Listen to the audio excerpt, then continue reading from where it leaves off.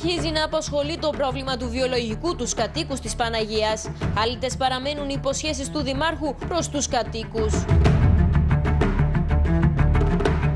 Δηλώνει στην κάμερα του ένα channel, ο κάτοικος της Παναγίας, κύριος Παναγιώτης Τσιτζηλικάκης, οι σωλήνες του βιολογικού έχουν σπάσει με αποτέλεσμα όλα τα νερά να καταλήγουν στη θάλασσα. Όπως τονίζει μάλιστα, αυτή είναι μια ανοιχτή αιστεία μόλυνσης. Στον ίδιο τον Δήμαρχο προεκλογικά κατεβήκαμε από εκείνα τα σκαλάκια που κατεβήκαμε μαζί και μας υποσχέ, με υποσχέθηκε εμένα προσωπικά, ας και στον κόσμο και προσωπικά εμένα, με υποσχέθηκε ότι θα τα, θα τα φτιάξει το βιολογικό, θα έρθουν να το φτιάξουν, να το κάνουν, θα το δείξουν.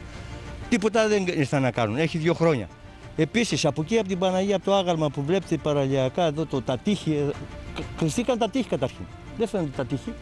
Ε, τα χόρτα αυτά είπε θα βάλει εργολάβο. Αυτά που σας λέω είναι όλα προσωπικά σε μένα.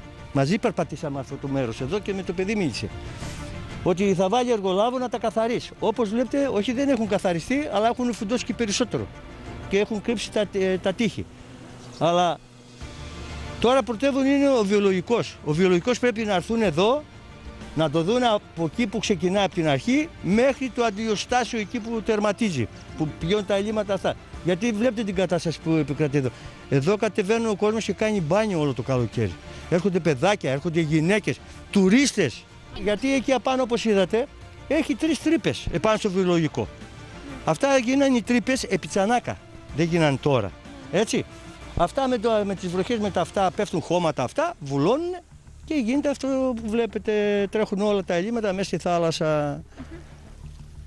Πρέπει να γίνουν. Οι κάτοικοι της Παναγίας έχουν ζητήσει επανειλημμένα από τον Δήμο να λύσει αυτό το πρόβλημα, χωρίς όμως να πάρουν καμία απάντηση και συνεχίζουν ακόμα να ζητούν λύσεις σε αυτό το πρόβλημα. Καταρχήν, αφιβάλλω άμα γνωρίζουν αυτή την κατάσταση. Και πήραν, να, επανειλημμένας. Πήραν και δεν δώσαν σημασία. Πήραν, επανειλημμένος πήραν και αυτοί οι άνθρωποι γιατί τα είδαν πιο μπροστά. Και τρέχουν τα λίμματα εδώ και δύο εβδομάδες. Πήραμε επαναλημμένου τηλέφωνο, δεν ήρθε κανένας, όπως λέει και ο γείτονας. Και είναι αιστεία μόλυνση. Γιατί κατεβαίνουν γυναίκες, κατεβαίνουν παιδάκια, όπως είπε και ο Τάκης. Και αυτό μυρίζει, βρωμάει. Είναι δηλαδή ε, αιστεία πραγματικής μόλυνση. Και αυτό, και αυτό απλώνεται σε όλη τη χερσόνησο της Παναγίας. Με τα ρέματα των θαλασσών. Κάντε κάτι. Τώρα κυρίες και κύριοι να περάσουμε.